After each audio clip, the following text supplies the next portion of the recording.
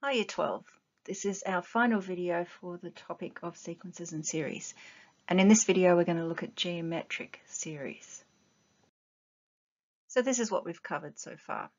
The difference between a sequence and a series, sigma notation, arithmetic sequences, arithmetic series, and geometric sequences. So just like arithmetic sequences and series, when we add the terms in a geometric sequence, we get a geometric series. So let's look at the formula for the sum of a geometric series. We actually get two versions of it. We get this one here, sum of n terms is equal to a multiplied by r to the n minus 1 in brackets all over r minus 1. Or we get this version, sum of n terms is equal to a, and this time we have 1 minus r to the power of n in brackets all over 1 minus r. Now typically we use this first formula when r is greater than 1 or less than negative 1. And we use this one when r is in between negative 1 and 1. But it doesn't really matter. It's purely for ease of calculations. Here's our first example. Find the sum of the first nine terms of the series 32 plus 16 plus 8 plus dot dot dot. So we start off by saying, well, A, the first term is 32. And the common ratio is 16 divided by 32, which is a half. And n is equal to 9. All right, let's choose this version of the sum formula, so the one with 1 minus r to the power of n, because r is a fraction. See that? It's in between negative 1 and 1. So substituting in, I've just changed that to 0.5 for space reasons. You probably would still continue with a half. So 32 in brackets 1 take away 0.5 to the power of 9 all over 1 take away 0.5 straight into the calculator and here's our answer 63.875. Example 2. So now we're in sigma notation. So we'll start off by generating the first couple of terms in the series.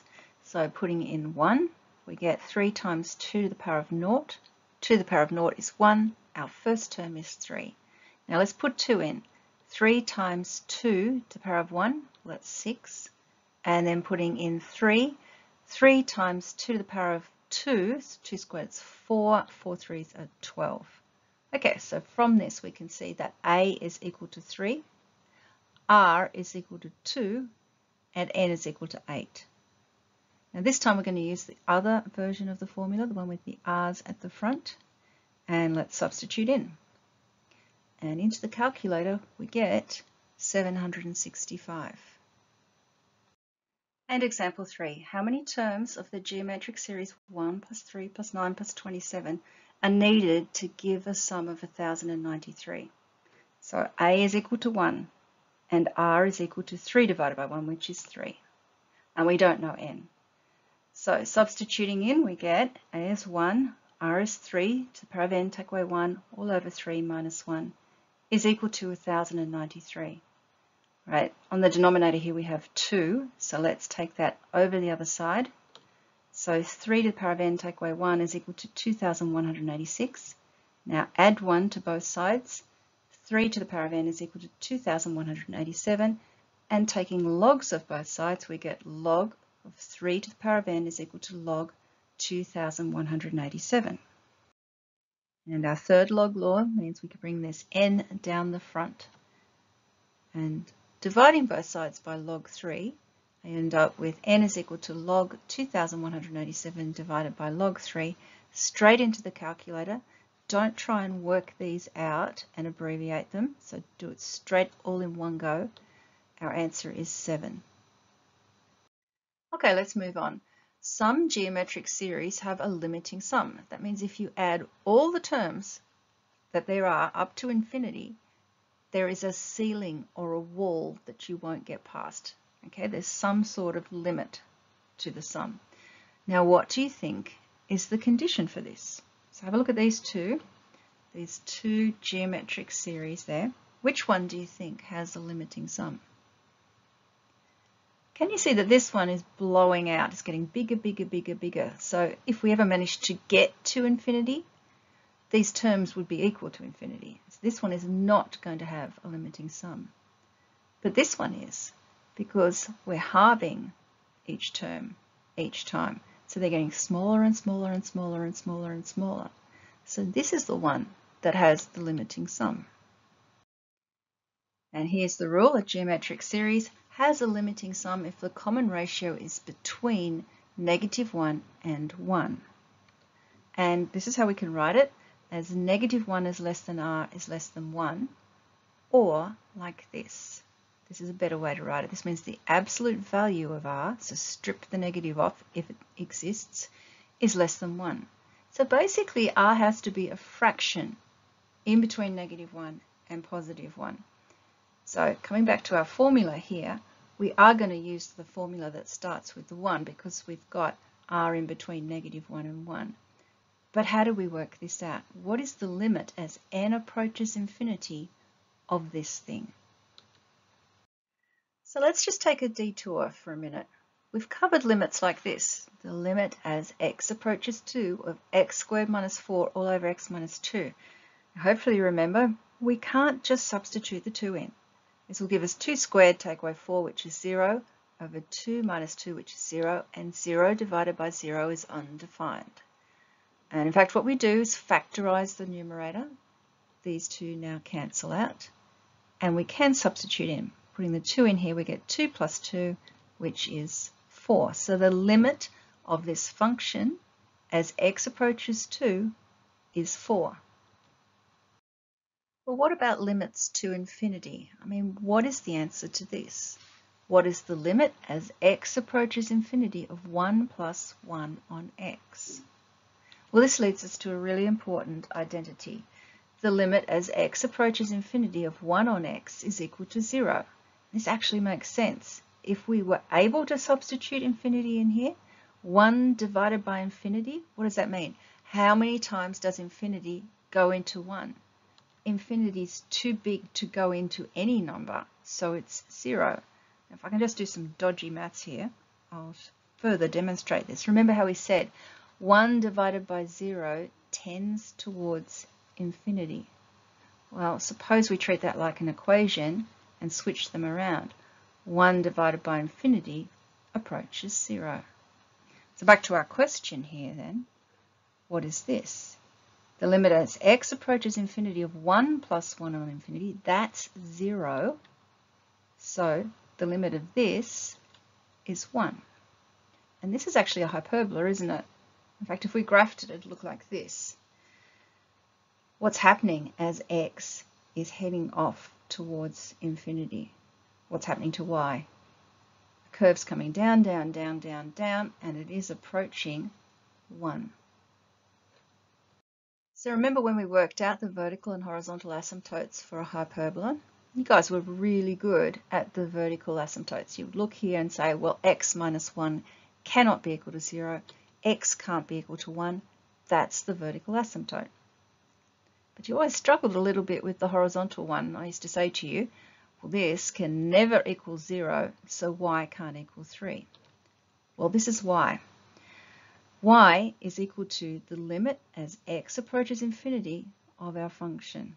Like this is almost identical to the last question. What is this? As x approaches infinity, 3 is okay, it doesn't have an x in it, minus 1 divided by infinity take away 1. Well, that's still infinity. There's our 1 divided infinity. This is 0. So our limit is 3. That's our horizontal asymptote. y is equal to 3. Now, just before we go back to our sequences and series, I want to teach you this because it kind of fits in. Sometimes you might be asked to do a really strange question like this. Find the limit as x approaches infinity of 3x squared plus x plus 1 all over x squared minus 2. Now we've no idea what that graph looks like. So we're kind of wanting to find a horizontal asymptote for something that we don't even know what it looks like. But there's a really sneaky trick for this. What we're going to do is divide all of the terms by the highest power of x. So the highest power of x is x squared. So I'm going to do 3x squared divide x squared. x divide x squared. 1 divide x squared. x squared divide x squared. And negative 2 divide x squared. Like this. I've tidied them up a bit. 3x squared divide x squared is 3. x divide x squared is 1 on x. Okay, what happens when I substitute in infinity now, or pretend to? The 3 is okay. This becomes plus 0, plus 0, all over 1, take away 0. So the limit as x approaches infinity of this function is 3. Okay, detour over. Let's return to where we were. Sum to infinity is equal to the limit as n approaches infinity of a, in brackets 1 minus r to the n, all over 1 minus r. Now this a over 1 minus r doesn't have an n in it, so it's unaffected by this. I'm going to bring it out the front. So our question reduces to this. What is the limit as n approaches infinity of 1 minus r to the n? Now you're probably telling me, well hang on a minute, r to the power of infinity is infinity, so this thing doesn't have a limit. But remember that r is a fraction. It's in between negative 1 and 1. For example, it could be a half. Now, what is a half to the power of infinity? Well, 1 to the power of anything is 1, and this denominator will be 2 to the power of infinity, which is infinity. And 1 divided infinity is 0. So that is gone. And the limit as n approaches infinity of 1 is just 1. So here's our formula. The sum to infinity is equal to a over 1 minus r. Okay, here's the formulas on the reference sheet. So under the topic of sequences and series, you get the nth term of an arithmetic sequence, two versions of the sum of n terms of an arithmetic series, the nth term of a geometric sequence, two versions of the sum of n terms of a geometric series, and the sum to infinity. And you can see how we have this qualifier here. The absolute value of r must be less than 1. Here's example 1. Find the sum to infinity of the series 1 plus a half plus a quarter plus an eighth. So we can see that a is equal to 1 and r is equal to a half. Here's our formula we substitute in and we get 2. And this is actually the answer to this joke. Remember I showed you this when we were learning about calculus. An infinite number of mathematicians walk into a bar. The first one orders a beer. The second one orders a half a beer. The third one orders a quarter of a beer. And the barman says you're all idiots and pours two beers. Example 2. Find a geometric series with common ratio 1 on p, which has 1 over 1 minus p as its limiting sum. Now we don't know what the first term is, but we do have a common ratio and we know the limiting sum, so we're going to use this formula. So the limiting sum is 1 divided by 1 minus p. A we don't know, r is 1 on p. Okay, let's tidy this up so that we have a common denominator. So make this into p over p. So I end up with A over P take away 1 on P. And we've got double decker fractions here. So this is A divided by P minus 1 on P, which is the same as A times P on P minus 1. So make sure that makes sense to you. Now, it would be easy to cross multiply here and to expand and then to try and factorize, but there's a much easier way. These two things are actually equal to one another except they're opposite in sign. Now let's just have a look what I'm talking about. So if I take my 1 minus p and turn it around, that's the same as negative p plus 1. Now if I factorize the negative out, I end up with this. So have a look. p minus 1 and 1 minus p, can you see? They are equal to one another except that this one is the negative of this. So I'm going to do this. Okay, does that make sense? And we're going to float this negative up to the numerator.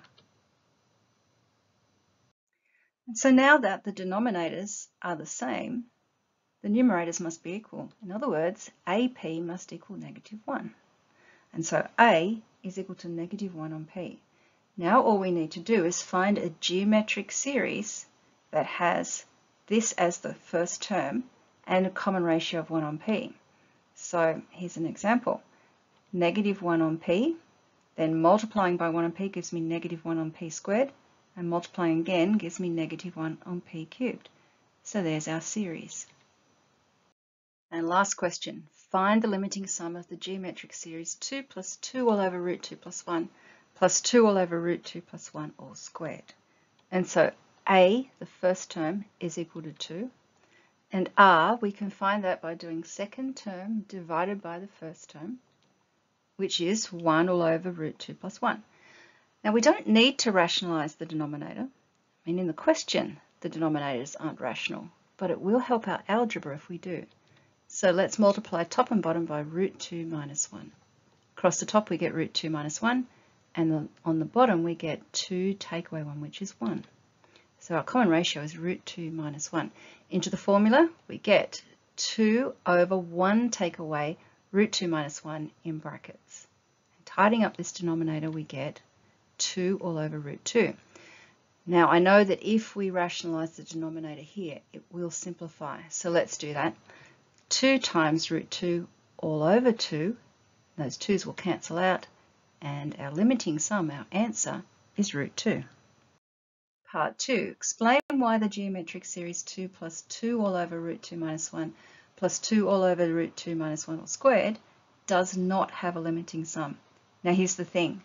The formula doesn't know if the series should have a limiting sum or not. It'll work. If you substitute a and r into your formula, sum is equal to a over 1 minus r, you're going to get an answer. But it's meaningless if our common ratio is greater than 1 or less than negative 1. So that's what this question is actually asking. What is the common ratio? So let's work out r, term 2 divided by term 1. That gives us 1 all over root 2 minus 1. And in the calculator, that's approximately equal to 2.414, which is greater than 1. So this is why this geometric series doesn't have a limiting sum. Okay, that's it for this topic. If you want to continue on with the next topic that would be in this strand, that would be financial mathematics. And the very first video in that topic is compound interest.